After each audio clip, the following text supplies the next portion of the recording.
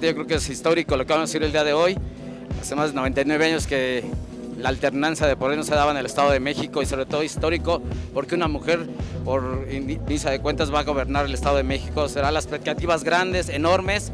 Es muy importante que podamos ver en la actualidad como gobernadora a una mujer.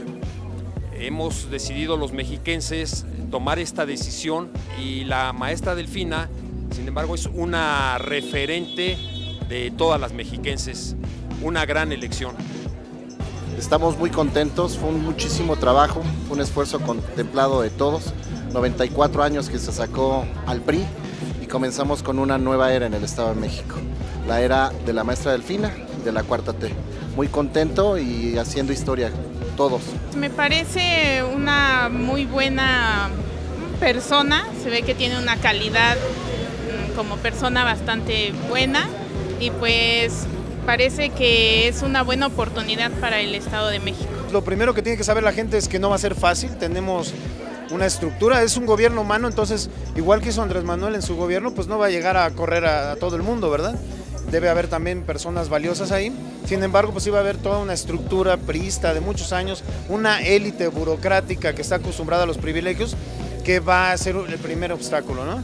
También tenemos demasiadas carencias, siempre se ha gobernado para la élite, siempre se ha este, gobernado con esa burocracia dorada que absorbía todo el presupuesto.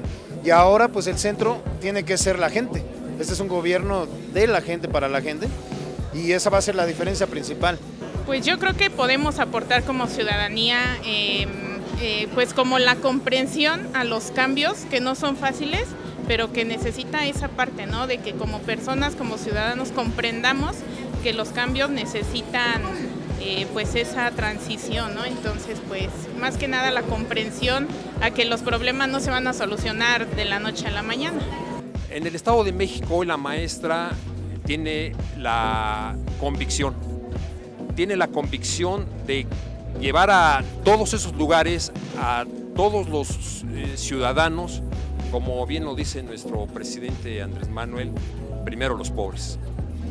Así es como va a trabajar la maestra, es la promesa que nos ha hecho y el compromiso principalmente. Tenemos que hacer un trabajo en conjunto, el gobierno no puede solo. Tenemos que ayudarlos para hacer un Estado y 100% de gobernabilidad.